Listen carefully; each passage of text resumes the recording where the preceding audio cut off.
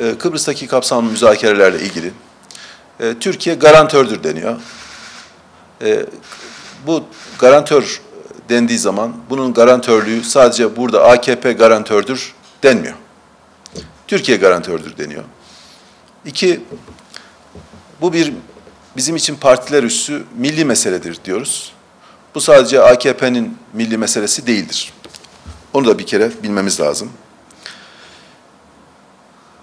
Şimdi kapsamlı çözüm diyoruz. Kapsamlı çözüm kapsıyor yani kapsamlı çözüm her bizim de içerisinde olduğumuz garantör bir ülke olarak esasen bizi ilgilendirmesi lazım. Ama bakıyoruz ki sadece Türkiye'den de birkaç bürokratı kapsıyor bu çözüm.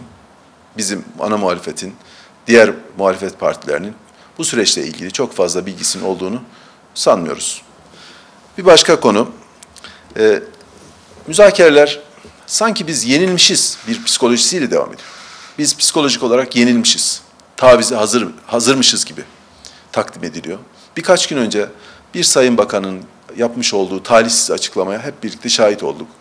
Biz nereye kadar taviz vereceğimizi biliyoruz dedi. Bir kere müzakere tekniği açısından e, bir taviz kelimesini kullanmak çok sağlıklı bir konu değildir.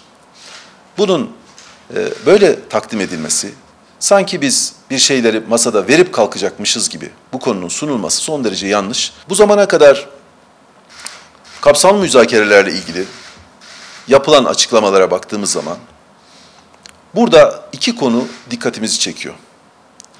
Bir tanesi psikolojik olarak Kuzey Kıbrıs Türk Cumhuriyeti rotasını kendi içerisindeki tartışmalar, diğer partilerin tartışmalarından ziyade güneydeki partilerin danışıklı dövüşü ve oyunlarına odaklanıyor. Şu parti şunu istiyor, dolayısıyla bunu, bunu getirirsek falan parti karşı çıkar güneyde.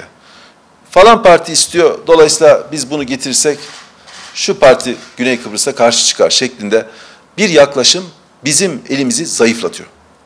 Bu konuda tartışmaya odaklanılacaksa Kuzey Kıbrıs Türk Cumhuriyeti'ndeki partilerin ne düşündüğüne odaklanılması daha önemli. Müzakere tekniği açısından. Biz bu müzakereleri 10 yıldır izliyoruz. Hep söylüyoruz. Lütfen şu garanti ve ittifak anlaşmasıyla ilgili konuları en sona bırakmayın diyoruz. En önce görüşün. Çünkü siz toprağı, mülkiyeti, yönetim ve güç paylaşımı başlıklarını görüştükten sonra eğer sadece garantilerde bir ayak diretirseniz, o zamana kadar sessiz kalmışsanız, nasıl olsa garantiler gündeme gelir diye bir rahatlığa kapılmışsanız, evet garantiler gündeme gelir, siz de diretirseniz çözümü istemeyen taraf olarak yaftalanırsınız. Ve olan da bu oluyor. Yani garantilerle ilgili bizim şu ana kadar bu konunun en sona bırakılması, geciktirilmesi ve hatta toprak konusunun ve haritaların gündeme getirilmesi tamamen yanlıştır ve bunun biz maliyetini ağır ödeyeceğiz. Yarın masadan kalkıldığı zaman hafızalarda sadece Türk Türkiye'nin ve Kuzey Kıbrıs Türk Cumhuriyeti'nin kabul etmiş olduğu tavizler konuşulacak. Ve görsel olarak o haritalar akılda kalacak. Bunu çok yanlış buluyoruz. Ama maalesef bu bu konudaki uyarılarımızı kimse dinlemedi. Çözüm istemeyen taraf belli. Zaten Güney Kıbrıs Rum yönetimi çözüm istemediğini belli etti. Yüzde yetmiş ile hayır dedi. KKTC yüzde altmış ile evet dedi. Zaten belli. Bundan sonraki süreçte Avrupa Birliği hiçbir sözünü tutmadı. Amerika Birleşik Devletleri hiçbir baskı uygulamadı. Rusya'sı diğer ülkeleri Kıbrıs reddettiği için herhangi bir yaptırım yapmadı veya KKTC kabul ettiği için herhangi bir kolaylık veya iyilik düşünmediler. Dolayısıyla burada açık olmak gerekiyor.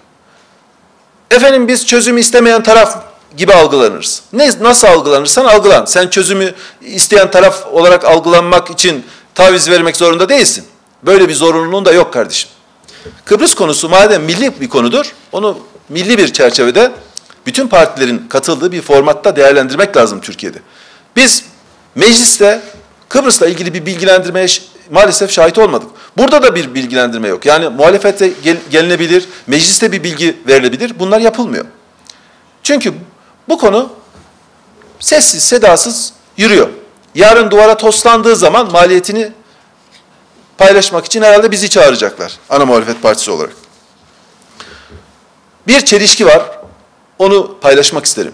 Biz bir taraftan Avrupa Birliği ile gerekirse biz de müzakereleri durdururuz, tehdidinde bulunuyoruz. Ama daha önce biz üye olmadan Avrupa Birliği'ne Kıbrıs'ı üye yapamazsınız tezini savunuyorduk. Şimdi biz çıkmaya çalışıyoruz, Kıbrıs'ı içeri sokmaya çalışıyoruz. AKP'nin bütün tezleri çökmüştür dış politikada. Bu bir iflastır. Hiçbir tutarlılığı kalmamıştır. Siz KKTC'yi çözüm için zorluyorsunuz ama kendiniz gerekirse referandum yapıp çıkarız diyorsunuz. Yani KKTC'yi sizin olmadığınız bir platformda, sizin olmadığınız bir yerde eğer görmek istiyorsanız o zaman Avrupa Birliği'nin bütün müktesebatları sizin o altına imza atacağınız anlaşmayı iki gün sonra aşındırır ve hiçbir şey yapamazsınız. Bu, bu konuda da uyarıda bulunmak istiyoruz.